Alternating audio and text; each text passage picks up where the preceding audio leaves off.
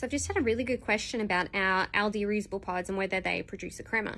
Um, the answer is yes, and that basically comes down to the design of the silicon lid, and this is why our um, FeePod capsules are famous for the crema they produce. So um, you can use either stovetop grind or espresso grind with these.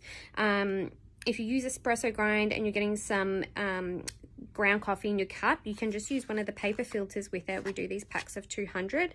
Um, and doing that, you also get um, a little bit more pressure buildup as well. So you might even get a better crema. Um, and otherwise, you can use a stovetop grind and just tamp a little bit more to create that pressure buildup. And again, you're going to produce a lovely rich um, coffee and crema with that.